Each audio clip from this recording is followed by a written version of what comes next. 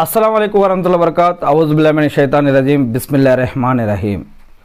ప్రవక్త మొహమ్మద్ సల్లా అస్లం గారు ఒక విషయం చెప్పారని తల్హా రజల్లా గారు చెప్తూ ఉన్నారు.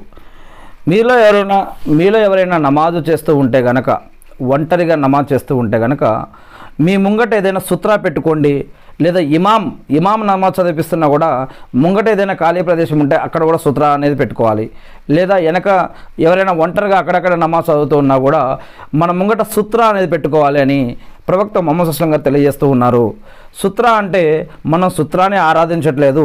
సుత్ర అనేది ఒక అడ్డుతెర లాంటిది. ఎవరికి అడ్డుతెర అంటే మనం ఎక్కడైతే సజ్జా చేస్తామో అక్కడ దానికంటే ముంగట ఈ యొక్క సూత్రాన్ని పెట్టాలి.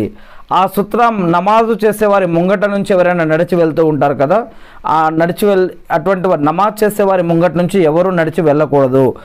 ఒకవేళ సుత్రా పెట్టుకున్నట్లయితే ఆ సూత్రం ముంగట నుంచి నడిచి వెళ్ళవచ్చు.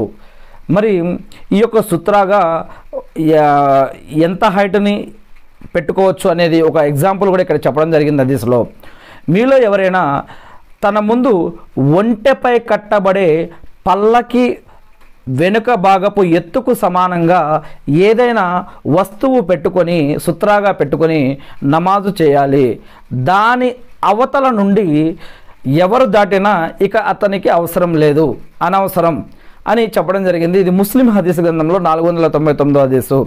సుత్ర అంటే నమాజు చేసే వ్యక్తి తాను చేసే స్థలానికి ముందు అడ్డుగా ఉపయోగించ ఉపయోగించుకునేటువంటి వస్తువు. అది గోడ కావచ్చు కుర్చీ కావచ్చు స్తంభం కావచ్చు ఒక చెక్క ముక్క కావచ్చు ఏదైనా ఒక అడ్డు తెర కావచ్చు లే ఏదైనా కావచ్చు అనమాట అటువంటిది ఏదైనా మరి ఏదైనా వస్తువు అయినా కావచ్చు. ఈ సుత్ర నమాజు చేసే వ్యక్తికి అతని ముందు నడిచిపోయే వారికి మధ్య ఒక అడ్డుతెరగా ఉంటుంది మా అంతే. అంత మాత్రమే.